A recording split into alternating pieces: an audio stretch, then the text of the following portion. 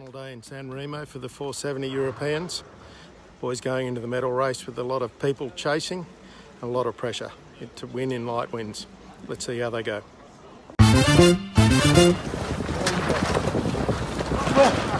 Welcome back. Welcome back. Thanks, Ian. Racing medal race. Race. Thanks, That feel, Will? Nice. Nice to haven't seen this flag for quite a while. So, um, we're going to get to put it up and win. But nice to have it back. Light out wind specialist, eh? Yeah. Well, yeah, it's a satisfying thing, the work that we've done in the lighter stuff. It's been, been nice to be able to put it together and it um, gives us confidence in pressure moments. We can come into the team and, and that's the rewarding part.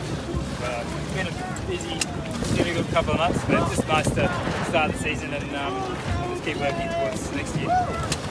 Impressive, boys. Thank you. Thank you.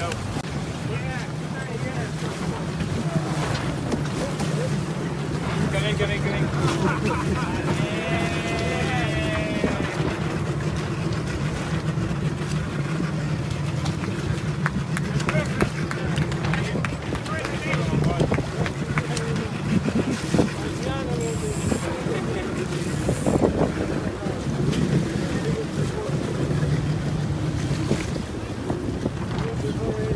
What do you What do you think, Victor? I think it's great come back to the podium in the right position in the podium. Very impressive medal race.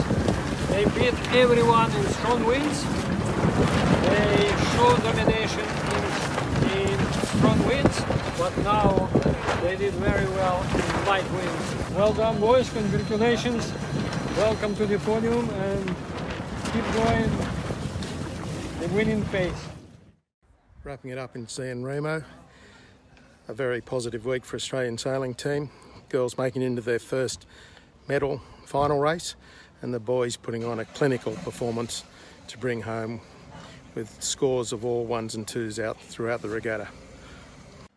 On to Marseille for the next race, World Cup final, and then on to the test event in Tokyo. See you then.